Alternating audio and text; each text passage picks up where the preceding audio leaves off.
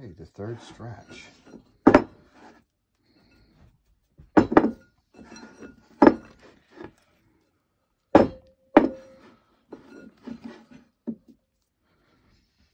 It's definitely getting softer.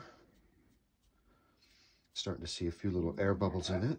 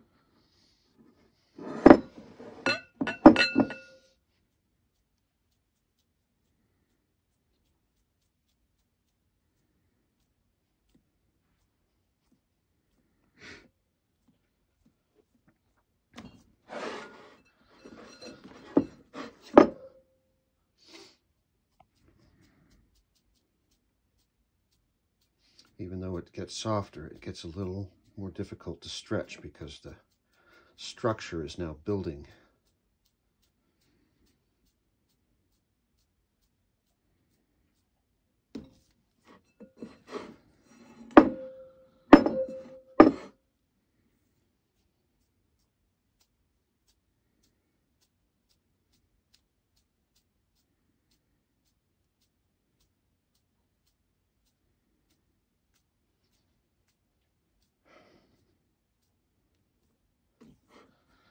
more should do it.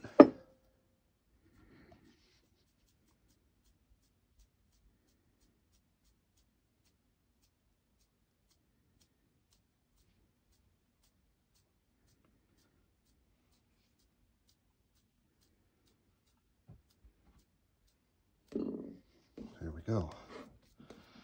We'll do one more stretch in 20 or 30 minutes and then we'll be ready to rest for four hours.